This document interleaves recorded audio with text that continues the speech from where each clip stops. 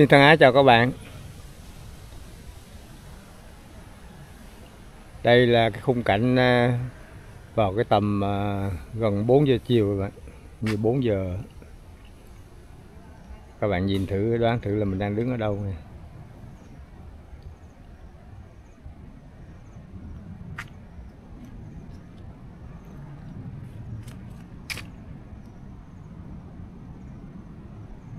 đây, nhìn về quy nhơn các bạn.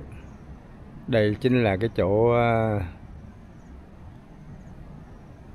khu mộ hàng mật tử và cái gần ráng tiên sa, chỗ à, bãi à, tắm hoàng hậu. Đây là mình lên ngay cái chỗ cái vị trí đây là hình như vị trí để xe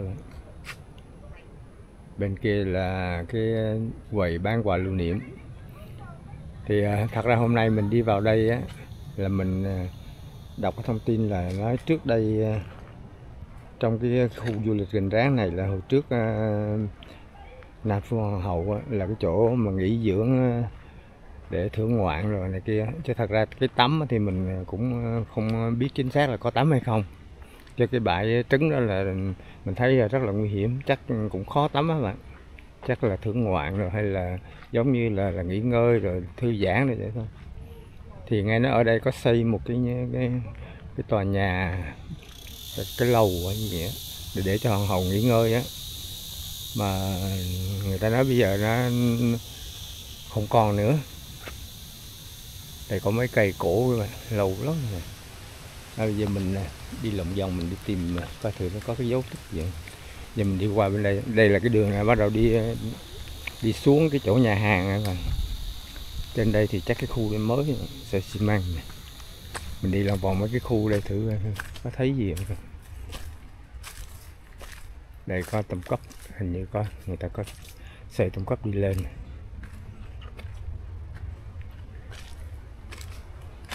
Hồi giờ mấy chỗ đây mình cũng không, không, không có lên luôn đây thì chắc cũng không có gì nữa. chỗ này cây nó rậm rạp quá thì thôi mình không đi mà. Nhưng tại sao trên này người ta lại xây trong cấp này là không rõ. Không biết trên đây là trước đây là cái gì. Đây có cái dấu tích gì đây mà. Đây có cái dấu gì vậy cái đây đi xuống ờ, dốc đây là là là, là tới cái nhà hàng rồi mà. Mình đi lòng vòng mấy cái chỗ đây thử. À cái chỗ đây như người ta mới xây.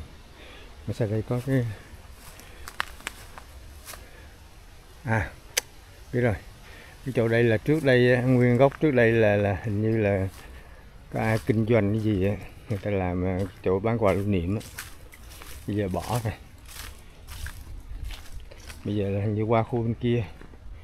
À đúng rồi, cho nên là mới có tôm cốc này còn ở chỗ đây là bạn chỗ đây mình thấy có một cái dốc mình đi lên dốc để thử.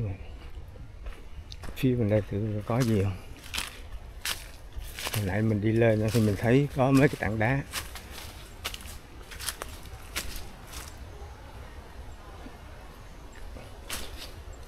Đây. Thấy bên kia có một anh anh ngồi. Thư giãn bên kia. Cái khung cảnh này cũng hay. Rồi mình ra mấy cái tảng đá thử. Coi thì có thấy gì không đây. Đây mình lên gốc cây nè. Cây bồ đề các bạn. Chùa là gốc bự.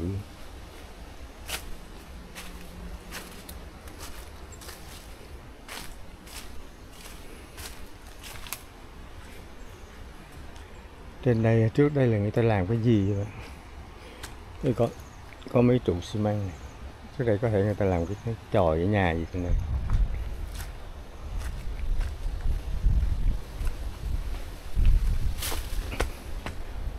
Đây. Nhìn về phía quy nhơn. Chỗ ờ, resort hoàng gia.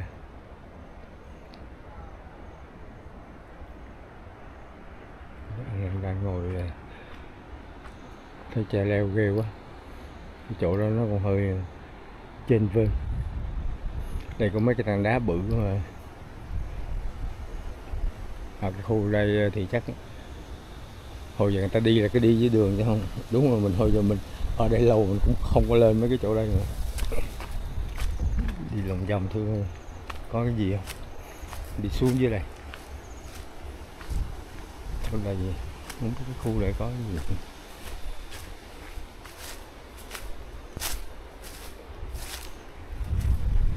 dưới đây thì mình cũng khó đi à trước kia nhìn xuống thấy thấy cái bờ biển.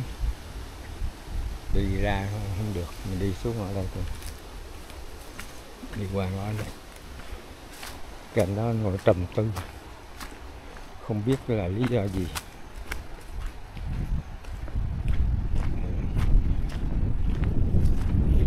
Hôm trước trước đây là như cái chỗ đây người ta có buôn bán cái gì mà chắc vậy. Hồi trước xây chòi đây có đường đi đi ra ra có đá thì thử có thấy gì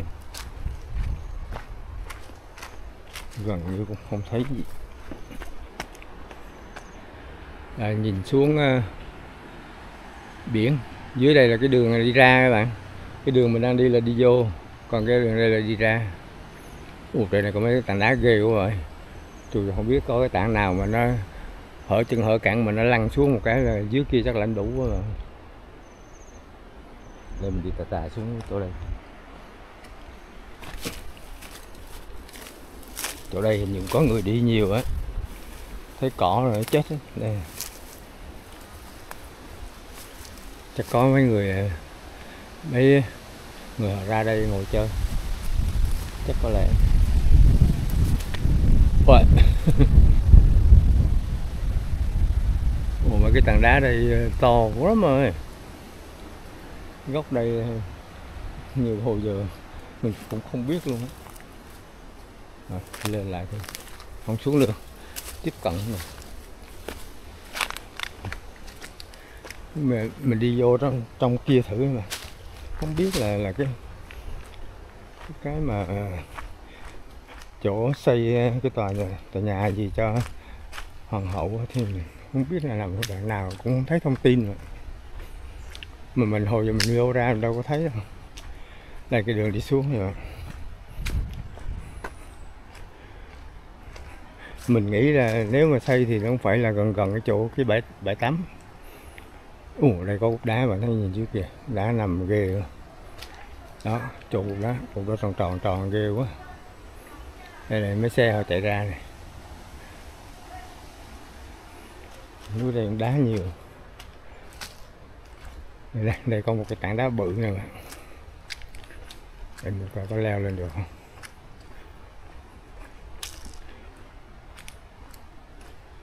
Còn bên kia thì nói chung là là, là, là không cây cối nhiều mình nghĩ chắc không không xây nhà, nhà trong đó đâu. Nếu xây ở đó thì hồi xưa mà ở đó mũi mũi nó cắn nó chết. Xây nghỉ dưỡng thì phải xây ra ngoài một biển cho mát. Đây nè đây à, được rồi. Đây đó nhìn xuống này mà chui từ cục đá trên này nó có một cục chồng lên nữa. Đây trên này nó có một cục nằm ở trên cục, cục bự nữa. Ghê quá. Đây này, đây có cục đá bự. Đây mình đứng mấy cái góc này nhìn ờ, hồi giờ chắc không ai quay mấy góc đây mà đá không à. Ngoài cái bãi đá trứng ra thì nó có mấy cái bãi đá này cũng hay hay mà. Nhưng mà nói chung là người ta không có làm vệ sinh. Lá cây rồi nó nó nó hơi nó hơi uh, mất thẩm mỹ một xíu. Cái này nếu làm sạch sẽ là là uh, cái chỗ ngồi nghỉ mát cũng hay đây là mấy cái khu đây nè. Cái khu đá đá đá đây mình nghĩ cải tạo lại làm một cái quán có ờ, đường đi nước bước đàng hoàng. Có chỗ ngồi uống cà phê hay. Chung quanh là ngắm mấy cái tảng đá. Còn cái, tảng đây chắc leo lên không được bạn ồ không có chỗ leo luôn á. Rồi xuống.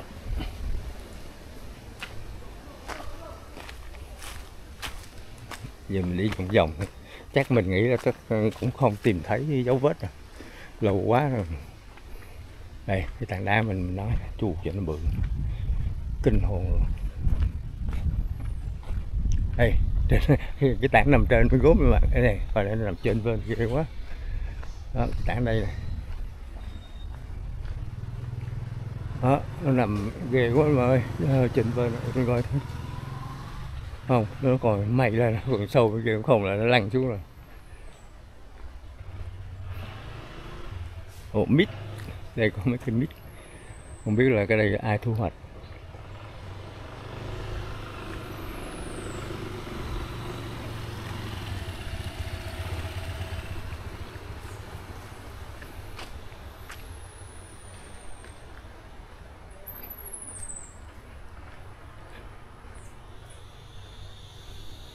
Cái phía bên tay phải mình là như là đá không ạ?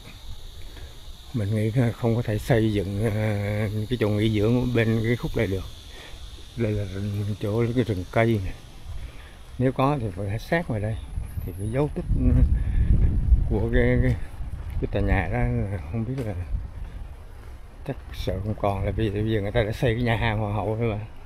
Mình nghĩ nó phải nằm gần gần chỗ cái bãi trứng. Tại phía phía này mà phía mà bên à, cái con đường đi à, hồi trước là mở một con đường chạy dọc theo ờ, à, chạy ờ, vòng vòng theo cái núi Xuân Vân này bạn. Là nó ra tới cái cổng sau của à, bệnh viện Phong Quy Hòa nhưng mà sau này là do đường nó bị lỡ tại là người ta cấm không cho sử dụng nữa. Nó hơi nguy hiểm mà do do người ta cũng không có, có, có, có kinh phí tu sửa ta cải tạo. Trên đây bạn trên đây thì đá không cây nghĩ trên đây cũng không thể xây trên đây nữa còn ở chỗ đây. Chỗ dưới đây mình coi coi lại kỹ thôi. Bên đây đề chữ hòn trọng.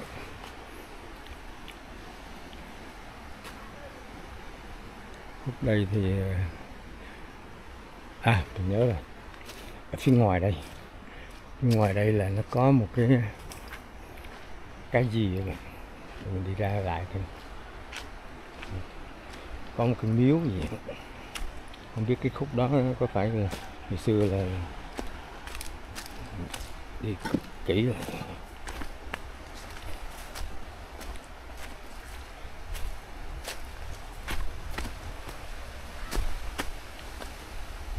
tầm giờ cũng 4 giờ bốn rưỡi vậy mà chiều.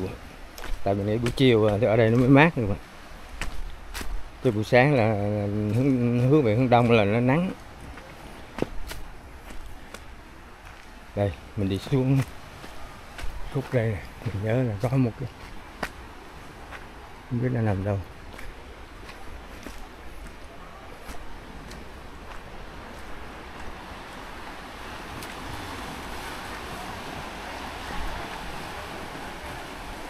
Nhìn như là đâu dưới đây rồi mà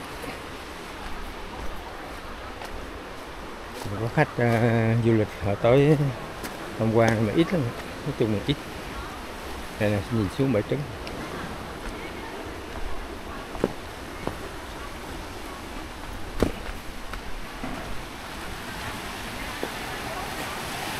là buổi chiều và thấy nhìn xuống ờ, ánh sáng nó, nó dễ chịu nè. Buổi sáng là nó, nó ló lắm.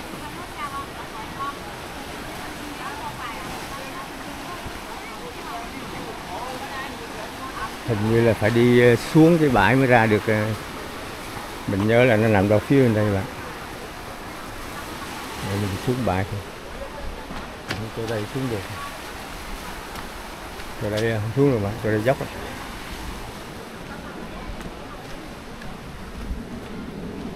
đi lại, đây mình xuống mấy lần rồi bạn.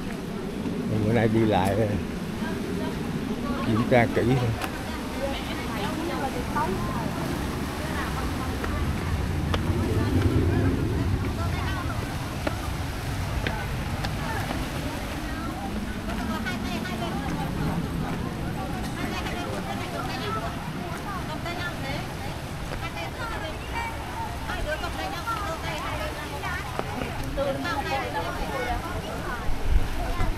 đi qua phía bên kia. Đi qua phía bên đây. Thì mình đi lên phía trên này cho dễ. Ồ cái này cũng khó đi. Chắc phải đi xuống dưới bãi.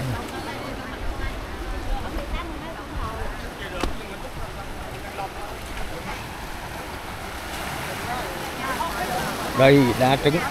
Đó bạn nghĩ cái bãi về mà hồi xưa hoàng hậu tắm sao tắm chỗ nào? À, đó bây giờ dưới đây là riêu rồi mấy người đây họ họ đang làm gì đây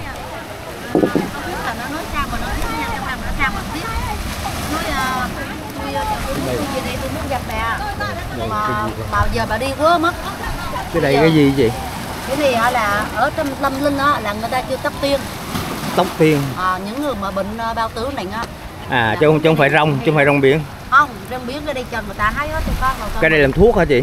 Cái này làm thuốc con heo mà trộn canxi nó cũng cao lắm. Trộn gì? Anh trộn gói á. À ăn á hả? Dạ. Ủa ăn được hả? Có trộn không? Anh nghĩ sao mà dưới biến mà ăn cũng được. Hả Đây, cái đây chị về làm thuốc hay là gì đây? Hay là mình mình bán? Em đi quá nè. Em đi À. quá em đặt ờ, em đăng ký một cái món hải sản hải ngọc linh em đặt nó là cái tên hải ngọc linh tại à nó nằm dưới biển á mà hải nó lung linh á. À vậy rồi mình nước nó trôi vô nó lung linh này ừ đây hải ngọc linh. hải ngọc linh. Rồi lần đầu biết luôn á à bây giờ anh ra hồi ủa chợ- nhưng mà cái cái mùa nào mới có cho tôi nhớ vô đây đâu thấy ờ, cái, cái đây. Ừ một năm nó quý lắm một năm nó mới có một lần anh ơi. Vậy hả? Mà À. sao sao chị biết cái, cái bữa nay nó có? Thì ông trời ông cho em em biết là em canh em hái nè. Vậy hả? Dạ. Mà hồi giờ có ai hái không? Có mình em đi hái thôi chứ ai đâu dám hái. Đúng không vậy. nó, nó sợ me nó không dám hái đâu. Ủa sao vậy? Chứ chút đi me nhiều lắm. Me sống cũng có mà me chốt cũng có. Cái cây đây á hả cái dùng đây này. À cái vùng đây á cái hả hàng mặt tử anh cô đâu có bóng người đâu. À, Lúc sáu giờ người ta đi về hết mà có ai dám ở đi có mình em à. Vậy hả? Dạ. Chú chơi cũng nhiều chơi cắt hết rồi mới đây cũng nhiều lắm à, rồi em đăng ký với món đi anh ra hội chợ là gặp em à. Vậy hả? Hải cái gì? hội chị, chợ là khai mạc ngày 26 chị đặt cái tên gì luôn rồi? Em đặt đó là Hải Ngọc Linh. À hải ngọc linh. Chị mấy bán cho à, mấy ông du lịch thì em thấy còn hai ông có thiêu hỏi hả? À, bán chỗ nào đâu? À, em à, em làm buffet chi à buffet chay hả? Ờ, rồi vậy cái món này cũng hay á hải ngọc linh. Hải Ngọc Linh cái tên đẹp quá không? Đẹp quá. Cái để, để quay sát sát sát đi Đây. mẹ ơi mẹ nhớ không? Cái đợt có mé đi Gia Trang không? Có mé đi không? Đây mình coi. Ủa, sao nó bám vô đá hay vậy bà ơi? Cái đợt mà con đi ờ, Đây, nó bám vô đá, bám chắc lắm. coi như là mấy người nó bu nó uống. Có mé không mẹ? Có mé không? Chị đây chị đặt tên hải ngọc linh mà không biết cái tên thiệt nó là gì mình không rõ. Rồi, cảm ơn chị nghe. Dạ dạ dạ cảm ơn anh. Anh ơi anh anh anh vô cái cái, cái youtube á anh vô chích super em. Để để em bớt. Anh là, là youtube này. Youtube đi. À. Em, em cho em má má đừng tiền cho ông mở cái đài thụ nha. Rồi tôi gọi lại má nha đừng tiền ông lên mở đài thụ à. Để em tiền anh cái đây này. À. Tiền anh đây là anh, anh cho người ta là quý hơn kim cương lại đi. Đâu lại. Anh chụp vô anh phát cho bây giờ anh mở trực tiếp anh coi này. Anh coi nha. À. Đây là em gõ vô anh coi này. Đó anh thấy cái chữ trực tiếp không? À. Trực tiếp là nó quý cỡ nào? Đó nó quý mà đi cái này à, do do nó mất sống 211 quốc gia anh toàn cầu. Mà ai ai trực tiếp đây? Cái này là anh thấy không tiếng Anh không? Cái kênh đó là cái ký hiệu cũng như là anh là tên Bình. À. Thì anh có một cái ký hiệu của anh là anh Bình. Thì đây là superem.com Ether TV này nó đi 211 quốc gia này. D- đây của việt nam mình đó hả? Toàn cầu chứ không phải Việt Nam. À. quốc tế luôn. Mà bây giờ nó, nó đang chiếu cái gì? Nó đang chiếu trực tiếp này trực tiếp cái gì chứ? Chúa đã giá lâm mà Chúa không bao giờ ra mệt chị tưởng tưởng chị tưởng nãy giờ tưởng chị nói trực tiếp cái cái cái cái, cái, cái đây em đang nói cái này nó quý hơn kim cương luôn. À, anh, anh chụp vô anh gì anh mở vô. À, Này, em chụp cái đây này à, tức là chị giới thiệu một cái kênh để các bạn tham cho khảo. anh lợi anh lợi cho anh. À, rồi, rồi, mà anh mở là nó lợi tới ờ, năm tám cây số. Để, để coi nó, nó người đang nó là- đang bị uh, ló đó rồi các bạn à, đây chị giới thiệu cái kênh đây các bạn à, xem à, cho biết ha mình cũng giới thiệu uh, anh làm youtube không ờ hay Vậy? À, anh anh anh anh em anh đinh cái bài đi lên này. Đều à, đều thì nãy giờ đang nói này đang nói cái cái cái gì? À. Hải, Hải Ngọc Linh. cô cô thiên ân chi này. Cô nói là hải ngọc linh là nó thiên nhiên này. Ờ, chu cho chị cũng lớn tuổi rồi chứ. em là thiên ân chi. Không cái ký hiệu ờ, cái quán cây em là thiên ân à. Thiên là trời mà ân điển của thượng đế. Là ở quy nhơn hả? Ừ, ừ, ừ, đúng chỗ nào đâu? Em bán thực phẩm ở chợ Vinh chợ Vinh hả? Cái, thiên cái, cái hiệu em là thiên ân chay. Thiên An chay rồi ở Dạ. chợ Vinh rồi. Cảm ơn chị nghe có gì là anh lên số điện thoại em em mốt em em với anh làm youtube là lên cái ờ, không em là phổ biến bên super em đây. À, vậy. em không có quảng cáo cái gì đó. À. cái super đây với lại ờ, những cái món thường chay. Trên ờ, cái kênh của anh là có số điện thoại cảnh hù. Cảnh hù là À, của anh anh cái, cái số điện thoại em ấy là chừng ý nó là nằm trên cái kênh youtube của anh là có số điện thoại. Của hành cảnh hù cảnh hù. Là của vô Hành. vô zalo ấy youtube chứ. Youtube luôn ấy à, cảnh à, hù vô youtube kênh của anh á kênh của anh. Là em vô đó em tìm là có số điện thoại của anh. Vậy hả? Cảnh à, hù ừ, rồi. Có gì ờ, khi nào mà liên lạc thì có số điện thoại rồi thank you. Rồi bye bye. À, em tên gì? Em tên Vân. À tên Vân. Rồi cảm ơn em Vân. Dạ dạ. Anh đi tìm mà mấy cái đồ xưa. Mà giờ tìm chưa chưa có. Cảnh hù cảnh hù anh anh cắn không đi là anh làm bên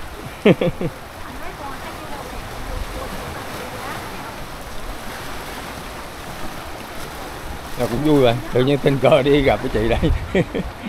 Mình cũng chẳng biết chị giới thiệu hồi nãy cái con gì mình chẳng biết nữa.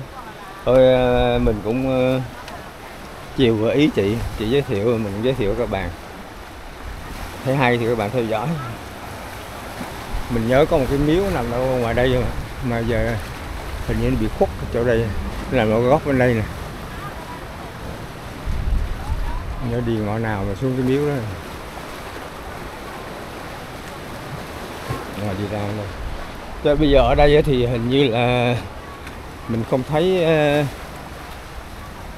không thấy cái gì mà, không thấy ờ, cái gì mà nghĩ xây dựng gì, cái tòa nhà nào cho đây được. Ở đây thì ờ, sóng gió. Nếu xây thì chỉ xây cái chỗ nhà hoàng hậu là hợp lý nhất thì người ta đã xây rồi. Thì nếu người ta đã xây xong á thì ờ, cái dấu tích xưa nó không còn nữa. Mình đi qua phía đây một xíu. Đó, cái tầm ờ, bà bạn nào đi chơi bài trứng thì cũng đi tầm đây. Đây đây đây, hình miếu đây. Tầm ờ, 3 giờ 4 giờ. Tầm là nắng nó xuống rồi, cái núi nó che hướng tây á. Ở đây bạn. Đây, mình thấy cái miếu đây. Mình lên coi kỹ lại cái miếu thôi mình nghe nói là hồi xưa hoàng hậu nghỉ giữa người ta xây một cái lầu.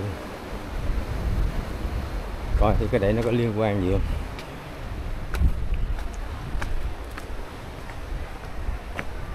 Sao chỗ đây có cái miếu không? Rõ. Cái miếu đây thì họ mới xây dựng sau này nữa.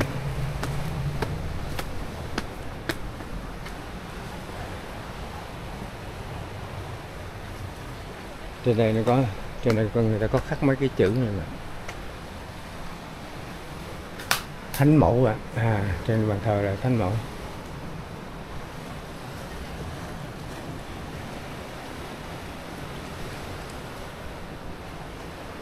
Như vậy đây là đền thờ thánh mẫu các bạn chứ không phải là, là không phải là, là cái chỗ mà mình muốn tìm.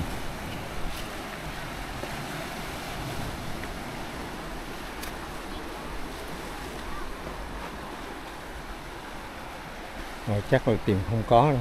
Thôi kệ, nói chung đi ờ, lâu lâu ờ, đi dạo lại cái bãi trứng. Rồi mình đi lên nha bạn. Nói chung là gặp hồi nãy mới họ nói gì, hải Ngọc Linh. Sang cái chỗ đường bí. Có phải chui qua coi, cái đường đây. Bây giờ nó bị bí, biết biết cái cây rồi đó rồi chắc đi xuống lại.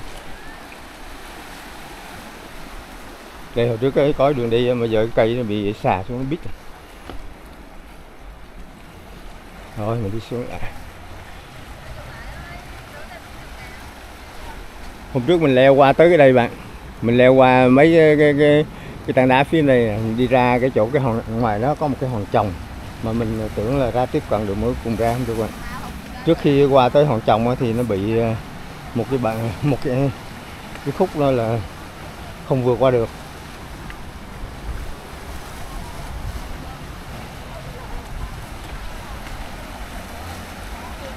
Đây nàng tiên ờ, của bài trứng à, ờ, gần rác tiên xa đây bạn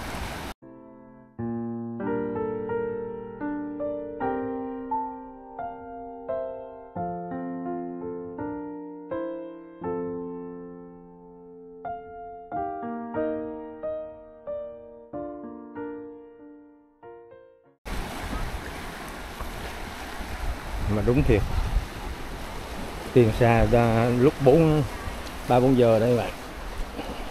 Các bạn nào à, muốn ngắm tiên xa thì vào tầm đây là cái tầm buổi sáng mà cái giờ đây mà bạn vô là cái chỗ để nó nắng chang chang không ai mà ra mấy cục đá này được mà nó nóng nữa. Bây giờ là, là 4 5 giờ chiều là cái mấy tảng đá nó, nó nguội rồi. Nó mát rồi. Đi mấy cục đá đây cũng cẩn thận đấy chứ không trèo cản trèo chân nữa mà.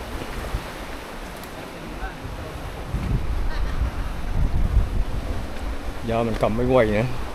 Sợ rớt cái máy quay một cái là bể liền mà rồi, mình đi xuống.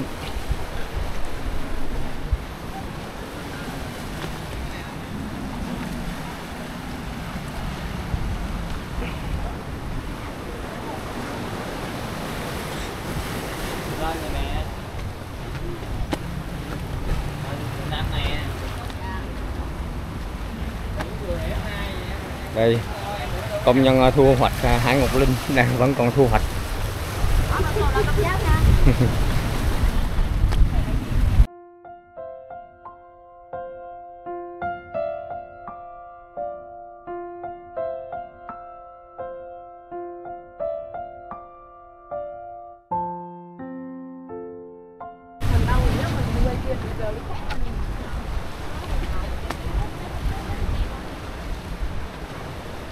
tầm về thì khách ờ, họ về cũng ờ, khá nhiều bạn. Chứ còn ờ, ít ít một số cháu nó đứng ở chụp hình thôi.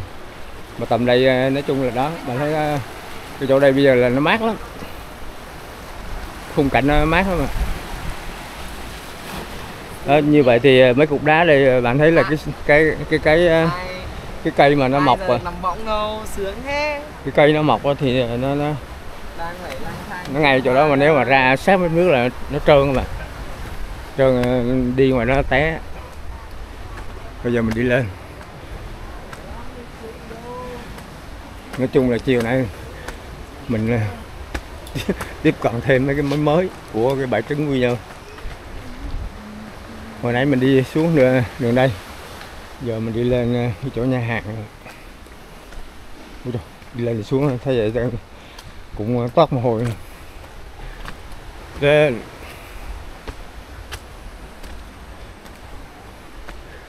mình đi, đi ra lại bạn. Đúng là cái hướng đi ra là cái đường dưới các bạn.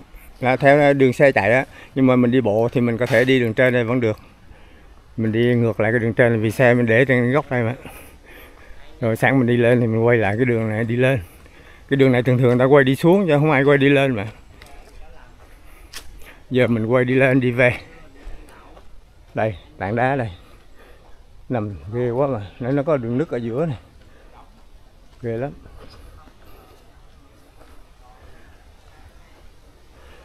Không thấy gì ngoài đá. Qua đây, coi lại cái chỗ đây. Chỗ đây. Nãy chỗ đây nhưng mình chưa ra. Cũng không thấy gì ngoài đá. Rồi, thôi mình đi về thiệt. Đây, đường đi ra, cũng có khách đi vào rồi vẫn có người đi vào. Đây, có xe à, du lịch đưa khách vào. Mà hình như họ không đi. À có có đi. Một cái anh trên đây anh ngồi lâu ghê luôn. Nãy giờ mình đi gần nửa tiếng hồ, anh vẫn còn ngồi. Đó, mình đi ra lại như vậy thì hôm nay ờ, mình tham quan lại cái bãi trứng mà để tìm cái dấu tích xưa mà không thấy. Ok ờ, mình có thấy thêm những cái gì mới mới. Các bạn coi cho vui. Xin thân ái chào các bạn.